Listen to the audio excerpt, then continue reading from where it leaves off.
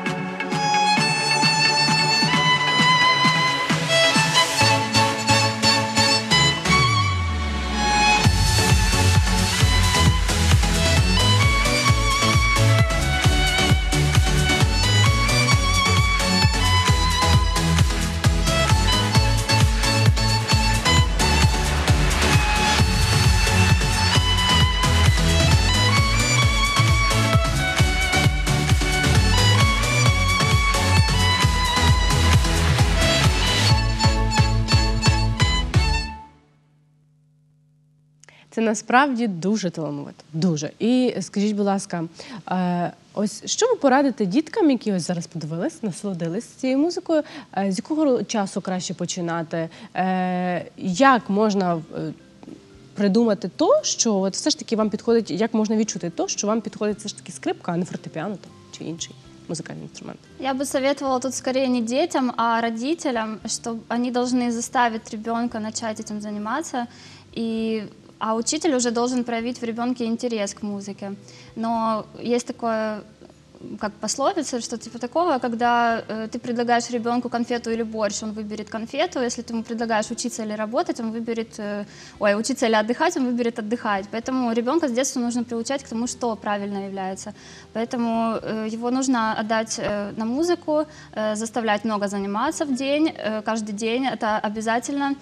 Э, и потом он должен слушать своих учителей и развиваться по классической скрипке, потому что пока у человека не будет базы классической, он не сможет работать ни в эстраде, ни в чем другом. Мгм. А в якій е, на чому граєте ви? В якій в чому в якій, в якому жанрі? А, ну, вообще я закончила консерваторию, поэтому как бы я играю классику на другой скрипке. Но это вот э, моя вторая э, скрипка, вот электро. Э, здесь я играю рок, поп, э, джаз, лаунж, э, в общем, все направления и все жанры, которые вот интересны людям. Угу. А ось які у вас плани на майбутнє? Е, можливо, ви хочете створити якийсь дует, можливо, у вас е, хочете створити свою групу. Що ви що ви плануєте? Ну, я бы хотела когда-нибудь позже продолжить э, снимать видео, э, записываться в студии, делать какие-то свои аранжировки, свои произведения. Вот. Мне кажется, что это интересно. А ви вмієте створювати музику? Взагалі пробували? Э, Нет, но у каждого музыканта, наверное, было в консерватории и в училище практически занятия по сольфеджио, где нужно сочинять кучу мелодий, такое. Поэтому я считаю, что это не проблема. Главное вот найти это чувство, вот э, желание словить этот момент. А у вас є бажання? Да, да, да. Хоч да-да-да, я подумаю, називається. Скажіть, будь ласка, міжнародний конкурс, лауреат. Які плани і куди ви хочете, можливо, ще на якісь конкурси потрапити? Е, як взагалі ви стали лауреатом? Е, Хоч трішечки загально розкажіть про цей конкурс. Е, Яка взагалі атмосфера між е, людьми на конкурсах саме по музиці? Ну, получила я лауреата международного конкурса в Харькове Э, Проходил в пединституте, ну, называется международный конкурс. Вот. э, Отношения между участниками, как всегда, э, настро- настроение о том, что я должен победить. Вот это, наверное, с детства вкладывается каждому музыканту. Поэтому еще говорят, что пианисты эгоисты, потому что вот они солисты, а струнники, вот духовики, это более э, компанистские люди, потому что они часто работают в коллективах, э, в оркестрах и тому подобное. Угу. А чому ось в нас настільки, ну якби в нас розвинена скрипка, але ось вам все ж таки ви ну зручніше б виїхати кудись і там займатися своєю творчістю? Чому так? Э, Я не знаю, как правильно ответить на этот вопрос, но, наверное, просто еще не пришло здесь э, востребование этого, этого жанра. Угу. А і в Китаї, так як ви будете в Китаї, там все ж таки більше захоплюються цією Ну, я бы музикою. сказала, что везде за границей больше этим восхищаются, и это более востребовано. Угу. Ви там с- е, с- е, сольно виступаєте? Э, Очень-очень по-разному. Э, Но для того, кто много лет играет на инструменте, кто э, вложил туда как бы всю свою душу и все свои умения, то ему несложно не э, подстроиться под какого-то другого человека, под коллектив, вот, либо же сольно поиграть. Э, Вот э, мы выступали в Китае, и в трио был, и квартет, и дуэт, и соло, поэтому все различные варианты. Угу. І як це відбувається? Ось ви приїжджаєте в Китай, і як вам говорять, от іди, грай там туди-то, потім туди-то. Як це відбувається? Ну да, взагалі? что-то типа такого. Вот я как раз люблю работу, которая не на одном месте, э, не, не такие контракты, где ты каждый день по 5 часов должен э, играть одно и то же. Вот я люблю те работы, которые вносят разнообразие и каждый раз что-то новое. Поэтому у нас был э, контракт с агентством э, на ивенты, на, на мероприятия. То есть в основном это были фэшн-показы с моделями. Э, И вот от Булгари они по разным городам э, делали презентацию своих товаров. Вот как бы это тоже вот в основном была моя работа. Угу. І вам цікаво працювати там. Да. Ви би не хотіли працювати в Україні? Ну, скажем так, что там больше впечатлений, больше возможностей и ну, то желание путешествовать, которое вот э, сидит, наверное, в каждом человеке, просто ну, не каждый может себе это позволить, вот, то почему бы и нет. Угу. А можете хоч трішечки розказати про життя в Китаї все ж таки? Ну, жизнь в Китае э, нужно вот либо ты ее сразу любишь, либо нет.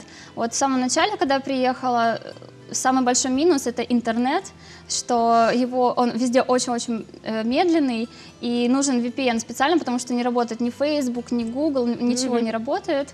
Э, Поэтому я промучилась первые полтора месяца просто ужасно. И второе, это то, что там почти никто не знает английский язык. Даже учитывая, что я была в Шанхае, это который самый большой город Китая, даже там меня почти никто не понимал. То есть, ну, когда ты там, нужно учить именно китайский. Ну, также минус в еде, то есть нужно прийти в ресторан, э, сфотографировать, попробовать те блюда, которые вот ты можешь есть, и потом вот, как бы запомнить эти названия и приходить их заказывать. І Як вам вчити мову? М- На мій погляд, ну японська і китайська це ну я не знаю, як взагалі їх реально вивчити, особливо в старшому віці. Да, это очень сложно, то есть нужны навыки других языков, хотя бы чуть-чуть, чтобы ну, мозги работали в этом направлении. Вот. И самое сложное это то, что ты должен ориентироваться не по буквам, а по палочкам, вот этим иероглифам. Поэтому э, нужно запоминать каждый отдельно, каждый день тренировать себя на картинках, на карточках. И к- каждый день нужно э, голосом про- проговаривать все эти интонации по несколько часов, чтобы вот оно уложилось все вот как нужно. А скажіть, будь ласка, чи були у вас якісь казуси е, з китайським словом? От ви, наприклад, його переплутали, і тут вийшов такий казус. Ну, невеличкий. таких прям казусов не было, потому что я особо не учила, прям там еще в начале, вот сейчас только начала учить, но у нас э, мы жили по адресу Гуланглу, вот, и когда садишься в такси, говоришь Гуланглу, э, тебе таксист говорят, не понимаю, ты опять Гуланглу, он не говорю, Гуланглу, он говорит, а, Гуланглу. То есть, э, Він по інтонації якось да, ну, розбирає. а, а я как бы для меня я не слышу, какую разницу я сказала, но вот он услышал вот как-то в третьей интонации, что это именно то, что нужно. Класно. Ну це як напевно свої акценти, правильно? Да, а да, да. Відрізняється взагалі, от у нас в Україні від в кожному регіоні всі люди по- розмовляють по-різному. Це, це, це закон такий, напевно, в кожній країні. Як в Китаї?